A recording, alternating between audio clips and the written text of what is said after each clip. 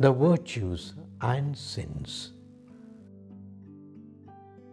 I have spoken already about the sin of pride, the sin of lust, the sin of greed, and today I speak about envy. You know, envy is a special sin. It's very subtle. It's very subtle because you can be smiling and yet at the same time sin in your heart. What is envy? Envy is your being not happy with someone else having something which you do not have. You know, you can't have everything. There is, every person is unique. You have something which I do not have. Perhaps your beauty I do not have. Perhaps I am little more intelligent. Maybe you are not. Perhaps you have got some wealth with you which I was not destined to get it.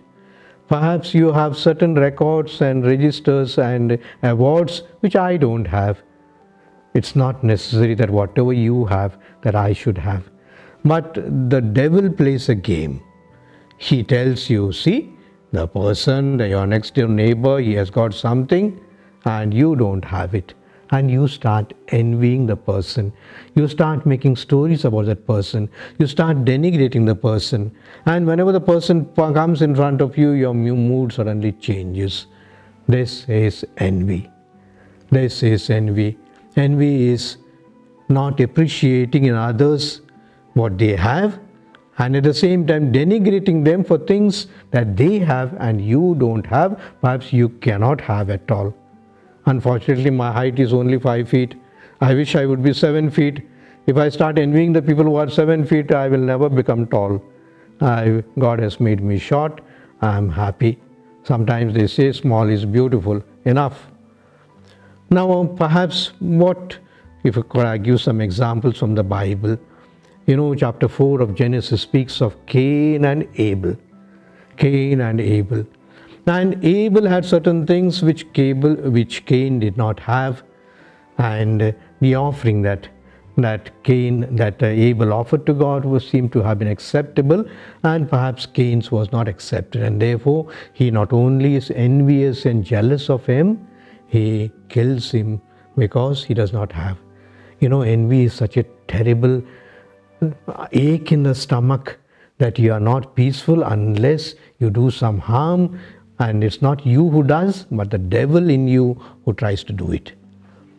We also speak of Genesis chapter 37, where Joseph, you know, one of the 12 sons of Jacob, and he was the youngest and the most beautiful one, most handsome one, and everyone envied him. And the father, unfortunately, also always mentioned about Joseph and he took him closer. He made some clothes for him, and everything was burning for the other brothers. They were envious, jealous of him, and they also tried to kill him first. But because the elders said, Let us not kill him, he is our brother, and they sold him as a slave. And we know the whole story. One who was sold as a slave became the chief minister of Egypt, and at the time of famine, these 12, 11 brothers had to go to Joseph, whom they didn't recognize, but he recognized them and accepted them as they are. There's a beautiful saying in the book of Proverbs. I shall read it to you.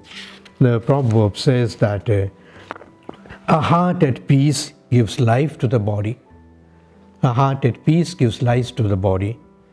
But Every envy rots the bones. Envy rots the bones. This is very true. I don't know whether envy causes bone cancer. I am surely not wanting to connect these two things, but envy is something that eats up, eats up inside, and it's terrible. Let me say that how do we get rid of envy? Or rather, what should we do in order that we are not envious? First of all, Learn to appreciate the good in others. You are singing beautifully. I'm so happy. I got a voice of a frog. I'm croaking always, but you got a beautiful voice. Uh, secondly, we can also say that uh, I can't have everything. Nobody can have everything. You have something, I have something. Perhaps you may also envy me because I got something which you don't have. learn to appreciate each other. Thirdly, avoid the company of those perhaps are always grumbling, envious, jealous, gossip. You know, gossip comes from little from envy. And the Holy Father Pope Francis says gossip is like terrorism. Terrorism, you destroy a person. Avoid the company of these people. They are never good. If you are hungering to go with them, perhaps they will poison you also. You know, envy is a small is a small poison, it's a slow poison that kills you, that eats up your bones, your cells. You can also spend time with grateful people. You know, there are some people who are always smiling, who are always happy. God has not given them much, but how much they share with the others, how much they like to perhaps make others happy. Perhaps your own mother, your grandmother, they didn't have much, but they want you to be happy. They want you to be loving. So, also, the people who are grateful, make their company, make friendship with them. They teach you how to bless God for the small things in our life. Small things in our life. You know, that day someone told me that there was this old lady after the flowers were collected from the altar, I think someone was throwing. She at once ran and took one flower from there and she was just admiring it. And this lady who gave her said, You know, we are just throwing these flowers out. If you could only give to some people who can take them, they would be so happy. Grateful people. Lastly, I say that uh, celebrate the success of people. Celebrate the success of people. Someone has done well. Perhaps in the whole class, uh, the neighbor's son has done well. Celebrate. Understood that perhaps your son has not done well, but appreciate and celebrate the success of other people.